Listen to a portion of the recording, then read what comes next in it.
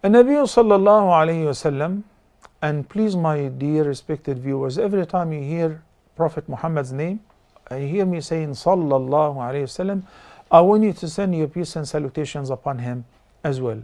Take advantage of that. And Nabi Muhammad sallallahu alayhi wasallam once heard somebody was addressing him and said, Masha Allah wa shi't. O Prophet of Allah, if Allah and you will, النبي صلى الله عليه وسلم was very mad and he said أجعلتني لله ندا Did you make me a partner to Allah? A deity besides Allah?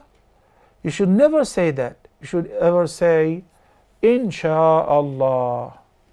Not Insha'a Muhammad. Ma Allah.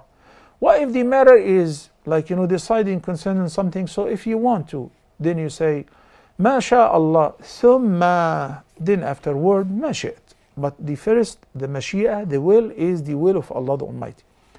Among the phrases which are perceived as shirk, where many people actually swear to other than the Almighty Allah. And Nabi sallallahu alayhi wasallam forbade that.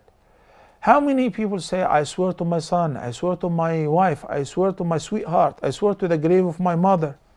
All of that is forbidden. I swear to the Prophet, that is forbidden. So, what do you say?